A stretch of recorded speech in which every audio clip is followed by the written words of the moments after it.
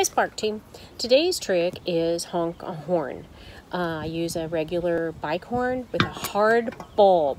I found that the hard bulb works better so that when your dog is uh, touching it, it, it, as soon as you do that, it makes a squeak, and that's what you want. You just want to um, barely touch it and have it squeak so you can praise and reward the dog. Then I throw in the cue word honk the horn, honk the horn, and they know how.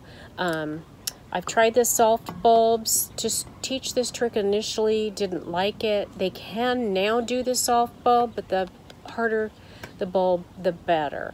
Let them play with it, supervised, treat, and reward. That's how I taught my dogs to do this trick. You could also try to just put it in their mouth, see if they'll bite down on it and do it that way. But letting them play with it seemed to be uh, a lot easier for both of my boys anyway.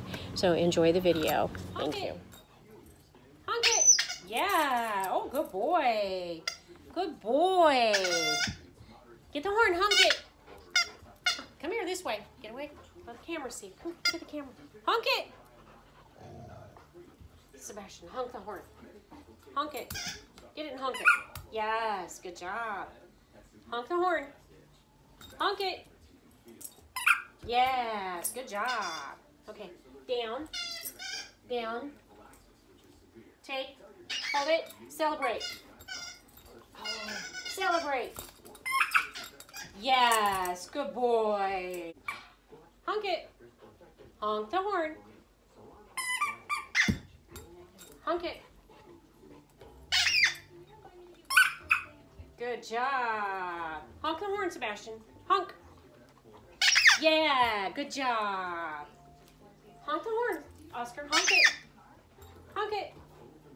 Yeah, good job. Good job, Sebastian. Good job.